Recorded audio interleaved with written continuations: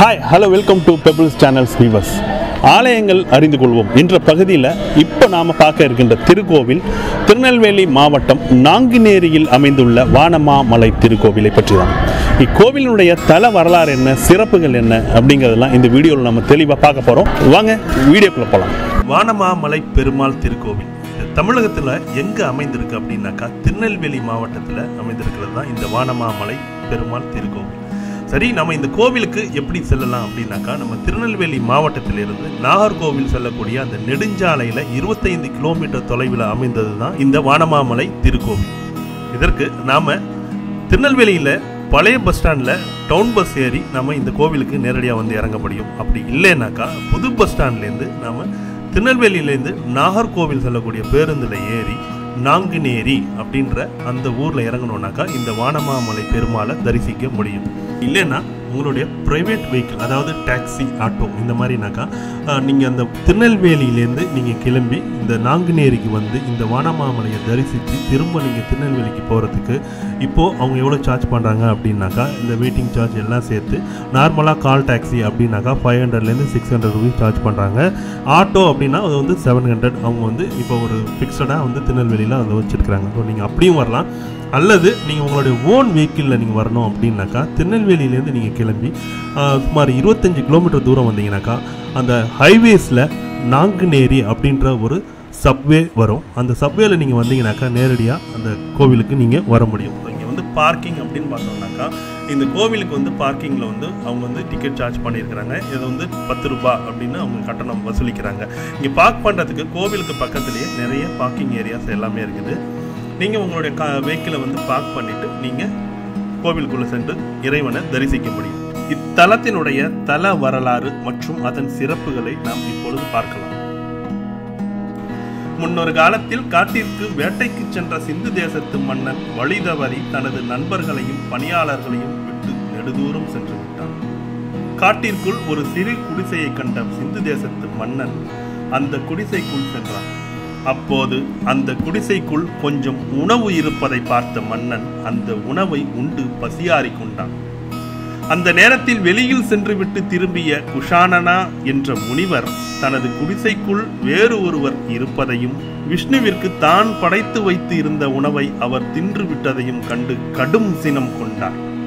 ஆத்திரத்தில் முனிவர் மன்னனை நாயாக மாறுவாய் என்று சபித்து விட்டார் சாபம் பெற்ற மன்னனோ எப்போது நான் சாபத்தில் இருந்து விடுதலை ஆவேன் என்று முனிவரை கேட்டான். அதற்கு குஷானனா முனிவர் உலகின் மிகச் சிறந்த தீர்த்தத்தில் நீராடும் போது உன் சாபம் நீங்க பெறுவாய் என்று விமோசனம் கூறினார். நாயாக மாறிய மன்னனோ காட்டில் அலைந்து திரிகையில் வேடர்களால் பிடிபட்டு இத்திருத்தலம் வந்தான். பின்னர் இத்தலத்தில் உள்ள சேற்று தாமரை என்ற இத்தலத்தினுடைய தீர்த்தத்தில் வேடுவர்களுடன் நீராடிய போது தனது சாபம் நீங்க பெற்றான். பிறகு ஆலயத்தில் இறைவனை வழிபட்டு நாடு திரும்பியதாக தல வரலாறு இத்தலத்தினை சுற்றி நான்கு புறங்களிலும் நான்கு ஏரிகள் அமைந்திருப்பதால் நாங்குநேரி என்றும் திருச்சீரவரமங்கை திருவரமங்கை திருச்சீரவர மங்கள நகர் தோத்தாத்திரி சேத்திரம் வானமாமலை என பல பெயர்கள் உள்ளன. நூத்தி எட்டு திவ்ய தேசங்களில் எட்டு ஆலயங்கள் சுயம்பு தலமாகும் அந்த எட்டு தலங்களில் இந்த ஆலயம் ஒன்று என்பது குறிப்பிடத்தக்கது. இத்திருத்தலத்தை பற்றிய செய்திகளை நாம் பிரம்மாண்ட புராணம் கந்த புராணம் மற்றும் மற்றும் நாரத புராணங்களில் இருந்து நாம் அறிய முடிகிறது. லக்ஷ்மி தாயார் இத்திருத்தலத்தில் குழந்தையாக பிறந்ததால் இத்திருத்தலம் ஸ்ரீவரமங்கை என்று அழைக்கப்படுகிறது.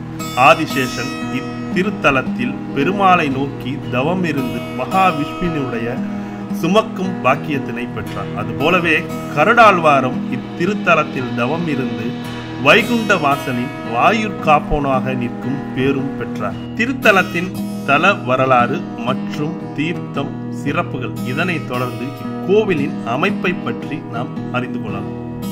நாங்குநேரி வானமாமலை திருக்கோவில். இத்தலத்தின் இறைவனை நாம் தரிசிக்க செல்லும் பொழுது நம்மை வரவேற்கும் விதமாக அமைந்திருக்கிறது ராஜகோபுரம். கம்பீரமாக ஓங்கி உயர்ந்து நிற்கின்ற இந்த ராஜகோபுரத்தை தரிசனம் செய்துவிட்டு உள்நோக்கி நாம் சென்றால் பந்தல் மண்டபமும் அதனை அடுத்த பெரிய மண்டபமும் நாம் காண முடியும். இந்த மண்டபங்களில் தங்க ரதமும் பல்லக்குகளும் அமைய பெற்றுள்ளது. ஒவ்வொரு ஆண்டும் பங்குனி உத்திர தினத்தன்று உற்சவர் தங்கத்தேரேறி பவனி வந்து பக்தர்களுக்கு அருள்பாலிக்கிறார் இப்பகுதியை ஆண்ட செவ்வந்தி நாயக்கர்கள் இத்தலத்திற்கு நிறைய திருப்பணிகள் செய்துள்ளனர். அதில் ஒன்றுதான் செவ்வந்தி மண்டபம். செவ்வந்தி நாயக்கர்களால் அமைக்கப்பட்ட செவ்வந்தி மண்டபம். திருவிழா காலங்களில் இந்த மண்டபத்தில் உற்சவமூர்த்தி எழுந்தருளி பக்தர்களுக்கு ஆசி வழங்கி வருகிறார் இக்கோவிலில் உள்ள மண்டபங்களில் வீரப்ப நாயக்கர் மண்டபம் கண்டுகளிக்க வேண்டிய ஒன்றாகும். அற்புதமான சிற்பங்கள் கலை பொக்கிஷங்களாக திகழ்கின்ற இந்த வீரப்ப நாயக்கர் மண்டபத்திற்கு அப்பால் லக்ஷ்மி வராகர் லக்ஷ்மி நாராயணர் தச அவதார மூர்த்திகள் என அனைவருக்கும் தனித்தனி சந்நிதி இருப்பதை நாம் காண முடியும். இத்திருத்தலத்தின் கருவறையில் அருள்மிகு தோத்தாத்திரிநாதர் பட்டாபிஷேக திருக்கோலத்தில் அமர்ந்த நிலையில் காட்சி தருகிறார். இவருக்கு இருபுறமும் ஸ்ரீதேவியும் பூதேவியும் இருக்க ஊர்வசியும் திலோத்தமையும் சாமரம் வீசிக்கொண்டிருக்கின்றனர். ஆழ்வார்களின் நம்மாழ்வார் இத்தலத்து இறைவனை நோயற்ற நோன்பு என பத்து பாசுரங்களில் பாடி மங்களாசாசனம் செய்துள்ளார் கோவிலின் கொடிமரம் கொடிமரத்திற்கு பின்பாக அமைந்திருக்கிறது குலசேகர மண்டபம். இந்த மண்டபத்தில் பதினோரு ஆழ்வார்களையும் நாம் தரிசிக்க முடியும். நம்மாழ்வார் இத்திருத்தலத்தில் சடாரியாக உற்சவரின் முன் அமர்ந்திருக்கிறார். குலசேகர மண்டபத்தில் வடக்கு நாச்சியார் தெற்கு நாச்சியார் மணவாள மாமுனிகள் உடையவரான ராமானுஜர் ஆகியோர்களுக்கு சந்நிதிகள் அமைந்திருப்பதை நாம் காண மேலும் இத்திருத்தலத்தில் ராமர் கண்ணன் சக்கரத்தாழ்வார் இவர்களுக்கான தனித்தனி சந்நிதிகளும் அமைந்திருக்கின்றன. மூலவரின் மேல் அமைந்திருக்கின்ற விமானம் நந்தவர்தன விமானம் ஆகும்.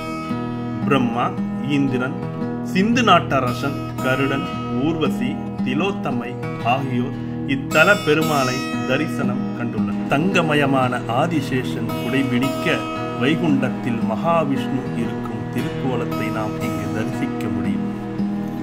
மேலும் கருவறையின் அருகில் விருதுமா முனிவர் மார்க்கண்டேயர் சந்திர சூரியர் ஆகியோர்களின் மூலஸ்தானமும் வெளியே விஸ்பக்னேஸ்வரர் ஆக பதினோரு பேர் ஏக சனத்தில் இருப்பது கண்கொள்ளா காட்சியாக அமைந்திருக்கிறது. இக்கோவிலுக்கு வருகின்ற பக்தர்கள் பெருமாளிடம் தங்களது வேண்டுதல்களை பிரார்த்தனையாக வைக்கின்றார்கள். வேண்டுதல்கள் நிறைவேறியதும் கோவில் அலுவலகத்திலேயே நல்லெண்ணெய் வாங்கி அபிஷேகத்திற்கு கொடுத்து விடுவார்கள். இத்தலத்தின் மூர்த்தியான தோத்தாத்திரி பெருமாளுக்கு அனுதினமும் நல்லெண்ணெயால் அபிஷேகம் செய்யப்பட்டு வருகிறது. அபிஷேகம் செய்யப்பட்ட இந்த எண்ணெய் ஒரு கிணற்றில் சேகரிக்கப்பட்டு இங்கு வரும் பக்தர்களுக்கு பிரசாதமாக வழங்கப்பட்டு கொண்டு வருகிறது. இந்த பிரசாதமோ சரும நோய்களுக்கும் சகல நோய்களுக்கும் அருமருந்தாக இன்றளவும் விளங்கி வருவது குறிப்பிடத்தக்கதாகும் நாங்குநேரி வானமாமலை பெருமாள் திருக்கோவில். இந்த கோவிலினுடைய தல வரலாறு மற்றும் வழிகாட்டியை நாம பார்த்து தெரிஞ்சுக்கிட்டோம். இதே மாதிரி ஆலயங்கள் அறிவோம் என்ற பகுதியில் நம்ம அடுத்தடுத்து வேறொரு ஆலயங்களில் சந்திக்கலாம். இந்த வீடியோஸ் உங்களுக்கு பிடிச்சிருந்தாக்கா லைக் பண்ணுங்க ஷேர் பண்ணுங்க கமெண்ட் பண்ணுங்க. மறக்காம சப்ஸ்கிரைப் பண்ணுங்க.